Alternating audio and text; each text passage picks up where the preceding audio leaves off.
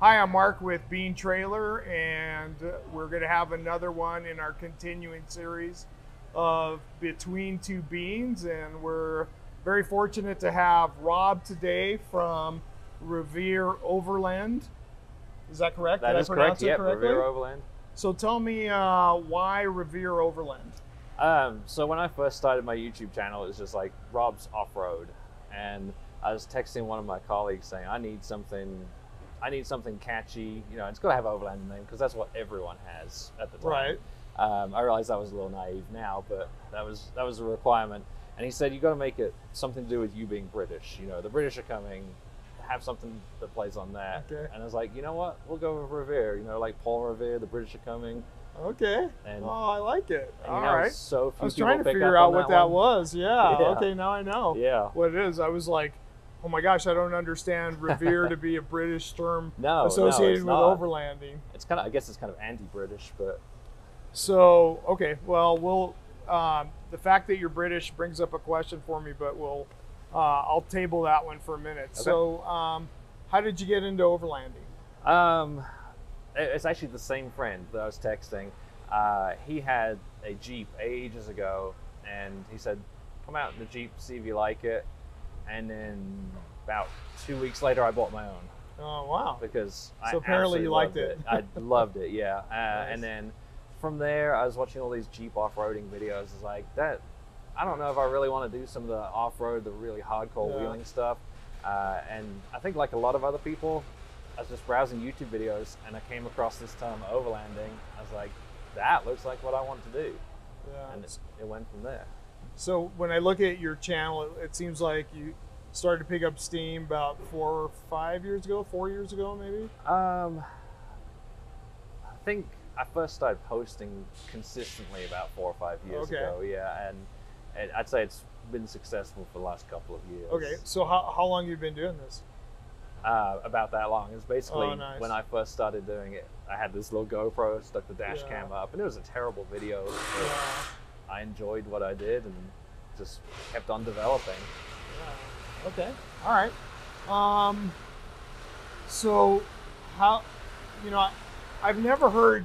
I think I one time read a definition of overlanding, but how would you define overlanding? Um, the way I see it is it's just going to be some kind of self-reliant travel.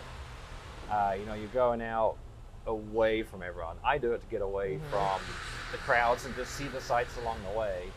Uh, I know a lot of people get kind of hooked up on the term what is and what isn't. I, I just see it as enjoying yourself out in nature in this self-reliant travel. Okay. All right. Uh, top three places you've camped, Rob. Oh, you know what? I'd say one of them was where we camped yesterday. Really? It was, uh, I, I wish, Whitmore Canyon, at the end of Whitmore Canyon. So south from St. George, ends right on the Colorado River. Fantastic South spot. of St. George on the Colorado River. Yeah. Okay. Camp in this, Oh, right on the edge. I have to get Yeah. you some footage so you can do like Uh, B-roll right now showing that Okay. spot. Good. Unfortunately, you can't fly the drone there because it's a national recreation area, but Right. beautiful place. Nice. Um, second place, probably just outside of Salt Lake City, up in the mountains here. Um, Where? uh, you know, I don't. It doesn't really have a name. It's just you follow this road, end up at the edge of a cliff.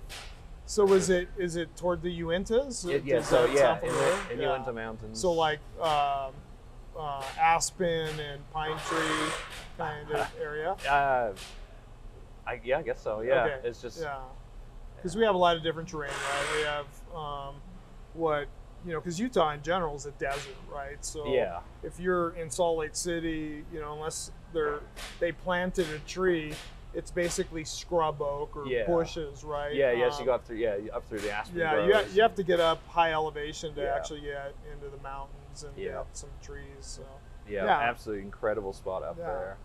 how about the third place? That's tough because there's so many, um, so many places I've stayed here in Utah. I'd say a lot of my favorite places have been here in Utah, but um, third one's probably Last Dollar Pass outside of Telluride. Hmm. Yeah, Just incredible spot up there. yeah. I haven't. I think uh, this summer, I haven't spent a lot of time in Montana or in Colorado. So this summer, one of my goals is to you know Yeah. either go up to Montana or Colorado. Yeah, both beautiful get a lot states. of camping Yeah. there. Uh, okay. Um, looks like you had a 4Runner, and uh, looks like you've traded that in for uh, Tundra. I don't know if you traded I it haven't. in. No, so it's actually still sitting at home. Oh, okay. Uh, my wife's driving it at the moment, but it is going to be for sale soon. Okay. Uh, switched over to the Tundra that I picked up uh, about two weeks ago. okay. So why the Tundra? Um, so I wanted something a little newer, a little lower miles, uh, and with a little more power. So I feel like I've reached the limit with the 4Runner with what I can add to it. Um, I've maxed out the, the gross vehicle weight on there, maybe a little more, but don't tell anyone. uh, and yeah, this will be our little secret. yeah. and so I just wanted something with you know a little more power, a little more space. Yeah. Um, the Tundra, it's new. I figured it'd be good for the channel, yeah. uh, so I went for it. What do you think so far? I love it. Oh, yeah. is. It's fantastic. I know it's a little. You know, people don't like the looks of it, but in terms of the power it has, the comfort, how smooth it is off road, like that's thing. That's like driving a Lexus off road. It's so nice. Yeah, and I think their off-road systems are pretty sophisticated too. They are. right? Yeah, So, they are. Uh, they've made some improvements for sure since Nice. the last generation. Okay. Um, so you're getting ready to do so. You've done some upgrades on your Tundra. I think some lighting ones. Uh, not yet. So Oh, I just okay. had it over at Heretic Studio here in Salt Lake City. Um, they are working on some stuff for the lighting. Okay. So I'm hoping they'll have that right. done in the next few weeks. So you probably have a list of things that you're planning on doing either right away or over time, right? Yeah, so it desperately needs some kind of self recovery. Uh, Yeah. It doesn't have tow hooks. Uh, I need a winch, that kind of thing. Um, and then uh, sliders, skid plates, Yeah. that kind of thing. Um, I took just a few days ago. Took this up to uh, Toquerville Falls. Oh, yeah. uh, down near St. George. really cool well. down there. Yeah, um, beautiful spot. The trail's a little bit tough, and had no problems at all with it. Yeah, I was about to say Like, it's not it's not no. tough for that. No, this had no issues at all. It was the Tundra. Uh, Um, just really the on lack that of, trail. Yeah, the lack wow. of ground clearance, Oh. the long wheelbase. Uh, I took Yeah. it really slow, Yeah. dragged a couple of times on the bottom, but uh, Yeah. It did it. Hopefully, I can get I- some pictures and video of that now. I foresee a small lift in your future. oh yeah, yeah. So lift something. I think it's going to take a little bit longer, yeah, but it definitely needs that too. yeah. Okay, well, uh, you told me earlier on that you're British, so uh, why not a Land Rover? yeah, I chose Toyota for a reason. uh, Land is kind of on the opposite end of that scale. So my favorite uh, overlanding vehicle I've ever had is my 2017 Land Rover Discovery Diesel. oh yeah. Ask me how long it's been in the shop.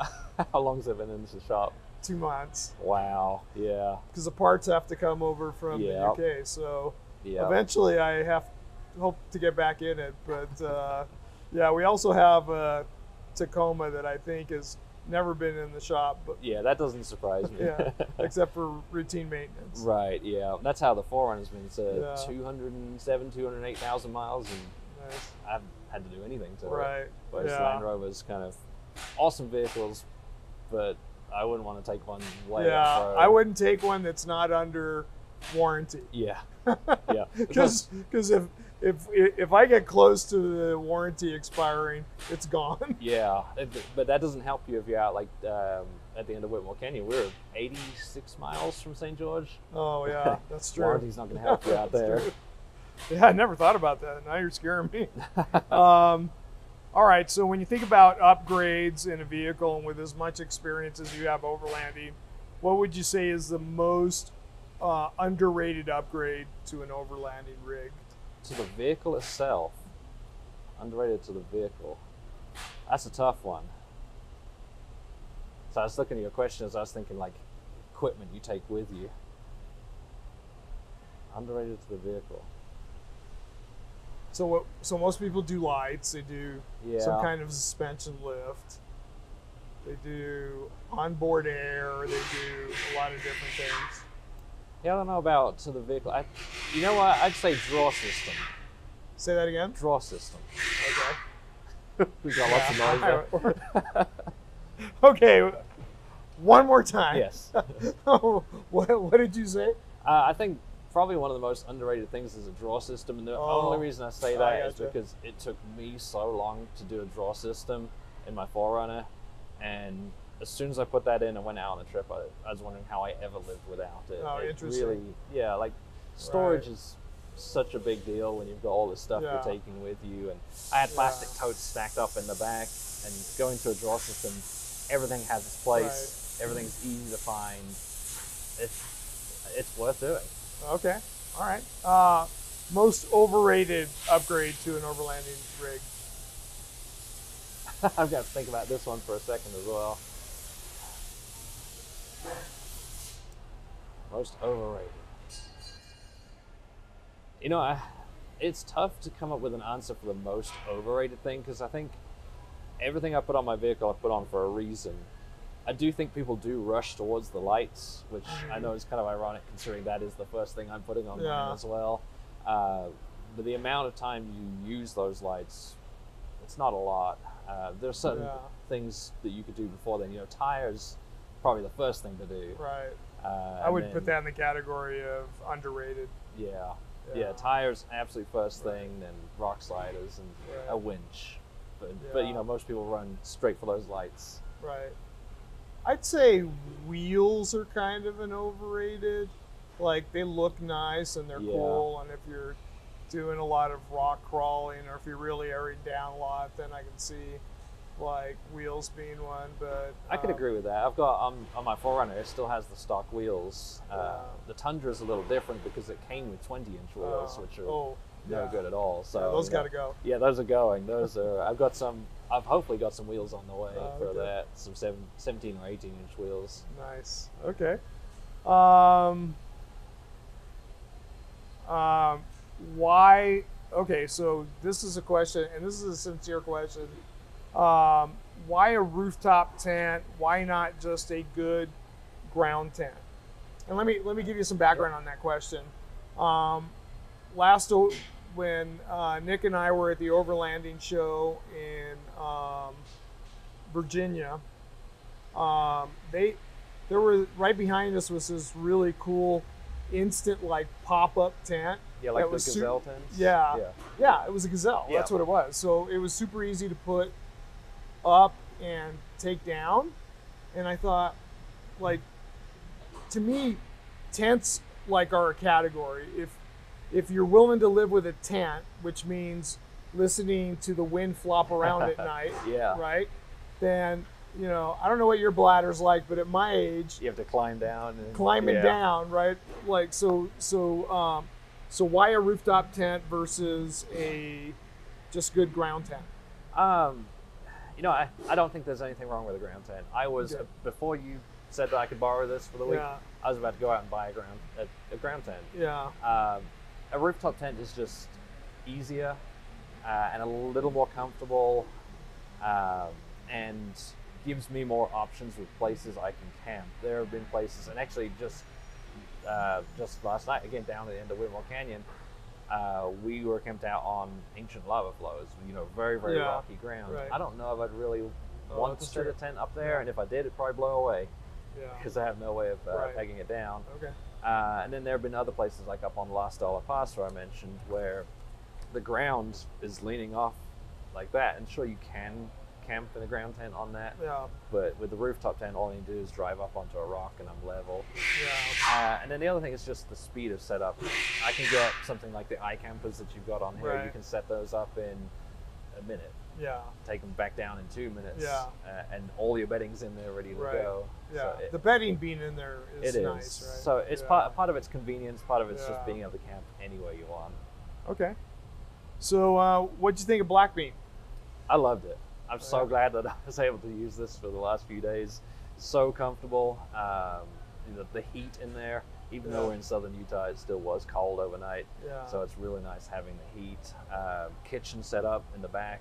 yeah. Uh, you know, great. Just pull that out, cook dinner on it. And I know I don't make fancy meals, but Yeah. it's still easier than getting everything else out. Um, and I think the best thing was that it's just like I put the vehicle in park, it's ready. Yeah. When I want to leave in the Right. morning, shift into drive, I go. You know, there's no no setup time at all, um, Right. like with the rooftop tents. And it handled so well on the trails. Uh, I, I, I hope you can show some of the footage of you know the speeds we were going on some of these dirt roads and some of the places we went because like I say it, it outperformed the Tundra on the tough stuff and just didn't even know it was there on on the washboards. Oh, nice. So, um, what kind of night, night of sleep did you get in it? Fantastic. Yeah. Yeah, I was with a, I was with a friend and he's in a rooftop tent. You know, he's he's out there worrying about the wind. On this cliff top with great views. He's worrying about the wind, and I'm just like, well, close the door, make sure the vents are shut, and Yeah. turn on the heat. We actually ended up sitting in there and working a little bit. Oh, nice. Oh, so you set up the table? yeah, we set up the table oh, in the middle, sat and worked for a little bit. Oh, Just, nice. You know, it was cold. You're like, get in there, we'll just turn on the heat. Yeah, that that to me is uh, probably the thing that I love the most about Bean is um, I wanted to design something that was a super comfortable space to sleep, Yeah. right? Because when I think of camping, I think of tent camping. When I think of tent camping, I think of progressively getting worse and worse night's sleep because I because the wind is Yeah. blowing or I wake up and I'm cold or whatever. And Yeah. what I love about Bean is that like I think I sleep better in Bean than I do at my house, right? Yeah. You know, it's just a really comfortable sleeping space. Oh yeah, it really is. Yeah. Yeah. That Yeah. mattress in there, I don't know how thick that is, but it's a great mattress. Um, so so now that you've experienced Bean, who, who do you think? Um, I'm curious to, to know who you think Bean is for. In other words, like what who do you see as like the customer for a black, Um, which is the trailer you took out. I, I could see several several categories of people. I think this is something my wife and I are probably going to end up with is something like this Mm-hmm. uh, because you know I want something that's going to go off road, go out to these remote places with no problems at all, um, and she wants somewhere where she can sit and she can work and be warm Right. because she works remotely. Yeah. Uh, that way we can both sit in there and work.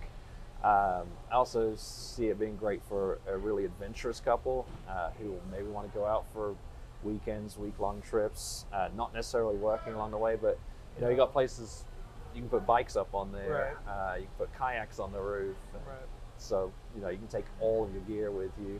Yeah. Um, and then I think families as well. You know, I can see like a family of four or five, Yeah. and sure, it looks like a small trailer, Yeah. but when you put that rooftop tent on, you've suddenly got Yeah. room for another two or three people up there. Yeah, especially the eye camp. You know, Yeah. when that iKamper opens up, it's actually bigger than the inside of Bean. Right? Yeah, yeah, it's a king size, king size, yeah. bed, where that's a queen. I mean, it's still pretty big, but Yeah. um, yeah. Um, okay. So, uh, what? Uh, anything else you liked about Bean? So I think this is not something I really used on this this trip, but all the storage in there. Uh, you know, if I was taking out for a much longer trip, you have storage for days in here. You know, you got the you got the battery box on this side, but then you got storage tray on the other side. You can Right. load stuff in. Um, you got those cabinets above the kitchen, so you can load those up with food.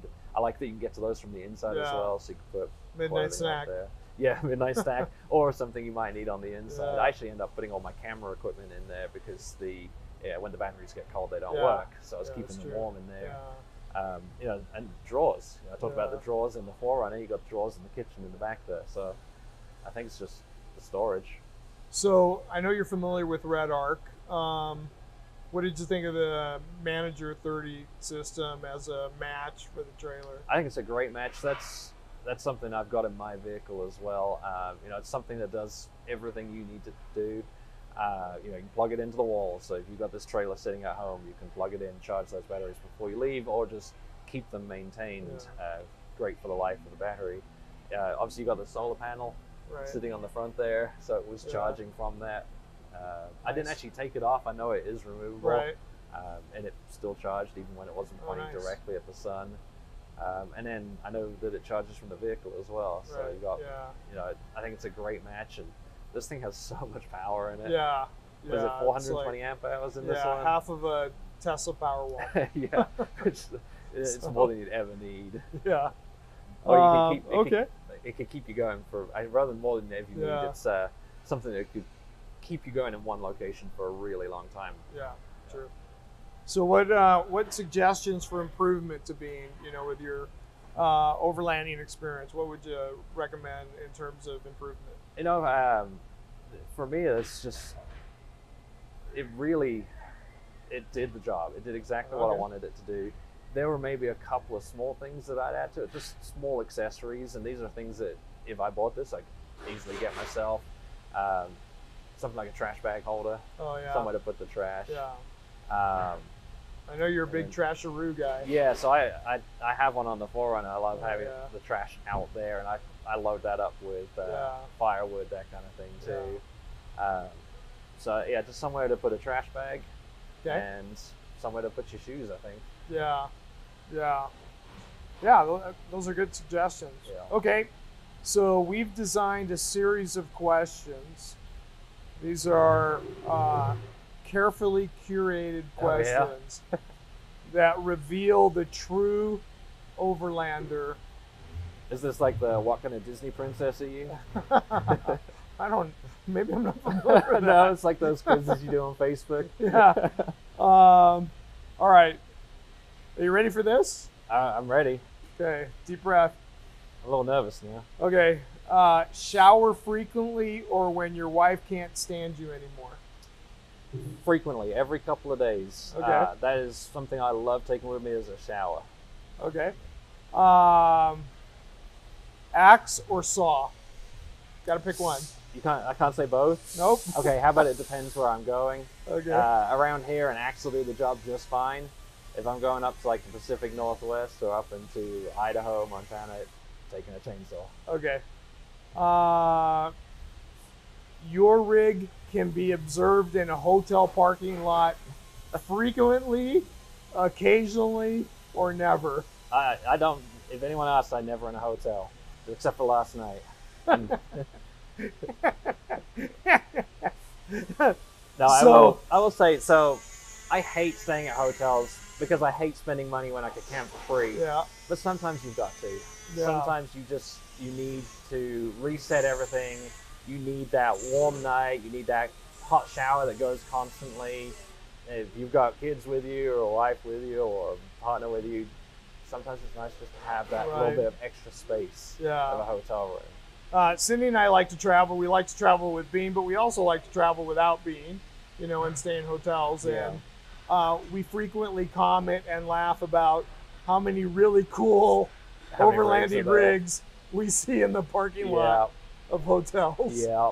I usually, I'd say, you know, if I'm on a two, three week trip, I'll probably stay a couple of nights at Okay. a hotel. Sometimes maybe it's just on the way there or on the way back. Yeah. Um, or just in the middle, I need something. Okay. RV park, yes or no? Uh, no, unless I've got to do laundry. Okay. And that's another thing. Like maybe stay at a campground once or twice a trip just to do laundry. Okay. Is overland is overlanding fun for both you and your wife? Mainly me. she does enjoy. She enjoys going out and seeing the sights. Okay. You know, she's not about sitting in the vehicle off-roading for days on end. Yeah. She likes going out and seeing, seeing the beauty of nature. Yeah, then I think I'm going to know the answer to this next question. Is rock crawling fun for you and your wife? Um, she, I think she enjoys it more than I do. Really? yes, because she's not scared about tearing the vehicle up. I I like the goal aspect of rock climbing, mm-hmm. of rock crawling. yeah.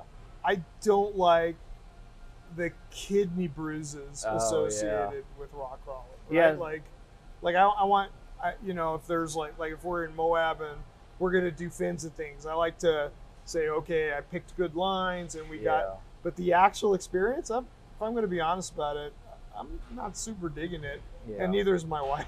that's that's funny. I, my wife was really pumped about doing Hell's Revenge. yeah. She the, the fact that she did it, I feel like she you know she achieved that goal. She really enjoyed that Wow. I- so you, you did Hell's Revenge in the in 4Runner? the 4Runner. Yeah, Wow. yeah, she did it. Did she? Okay. Well, here's the true test. Did she bail out on you at all? No, she did the whole thing. Oh, she Right drove from- the whole. she thing. drove the whole Wow. thing from the start. Did you bail out on her? Yeah, you're like, oh, hey, honey, I, I got to get good. Yeah, footage I've got to get out here. this is really steep. It looked great on camera. My wife, on numerous occasions, has said, "Oh hell no," and gotten out, out, and yeah. said, "I'm going to film it." now my wife's the driver a lot of the time, so oh, that I really? Oh, interesting. Yeah. Wow. All right. Uh, movie or streaming while overlanding? Yes or no? Nope. No, Purist. no, I don't. I don't really watch a lot of movies or YouTube. It's funny. I, I make stuff for YouTube. Yeah. I don't watch a lot of it. Right. Um, usually, I just kind of go to bed early and I just hang out, or I'm sitting there taking a time lapse, that kind of thing, Oh or yeah. transferring footage across. Nice. So, Yeah. Got other things to do. Uh, overlanding with daytime temperatures below 40 degrees. Yes or no? Um, no, no. I like to go Yeah. south in the winter. Like I'll do yeah. it, but I Yeah. prefer go south. one of the hard one, one of the hardest things for me to admit, you know, because you want to like think you're really a tough guy, but I think I've learned in the last couple years if the daytime temperatures are going to be below 40 degrees, It's the nighttime. I'm I, it? I'm not going to do it. I don't care Yeah. how cold it gets at night. Oh, see, that's me. I, Oh, really? I, I don't care about the daytime temperatures uh, because I'm in the vehicle. Uh, it's when you get to camp at night, cooking. oh yeah. You know, if I'm cooking and it's like 10 degrees out and it's Yeah. windy, Yeah. that's miserable. Yeah. I've got a heater for the tent, so I don't care Right. about that side of things. It's Right. just it's just hanging out at camp and cold. Yeah. So we we try and go south. Okay. Good. All right. Um, all right. One last question. Bean t-shirt, hat, or mug? You mean I gotta pick one again?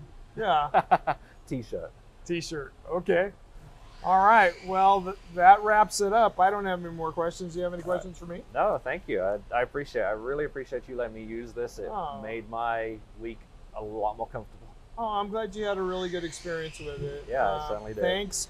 Uh, do you want to tell the folk, the eight people that are on our channel watching this, um, what your uh, YouTube channel is, and talk Yeah. a little bit about that? Yeah, I'm, I'm Rob. point them to, to it. Uh, I'm Rob. My channel is Revere Overland.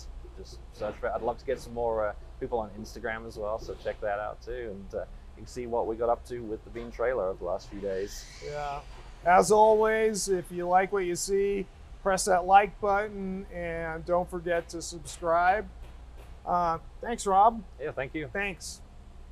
Five. That's hilarious. Well, you can do a pretty good donut at 35. yeah, I guess you could.